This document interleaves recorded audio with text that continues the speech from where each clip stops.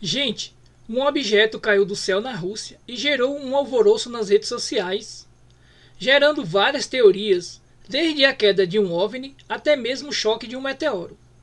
O certo é que houve vários registros do momento da queda do suposto objeto, que gerou um forte estrondo ao se chocar com o solo. Nos vídeos também foram mostrados um incêndio no suposto local da queda. Segundo informações locais, o governo russo está investigando o ocorrido. O incidente ocorreu no dia 12 de abril e o objeto teria caído na cidade de Bogdanovsk. Mas o prefeito Oleg Neyfield nega que tal objeto teria caído naquela localidade. Fica agora a incógnita: o que realmente caiu do céu na Rússia? Foi um OVNI ou um meteoro?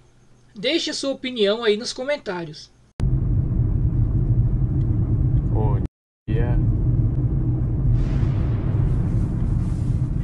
Это бесплатный салют, чё ты?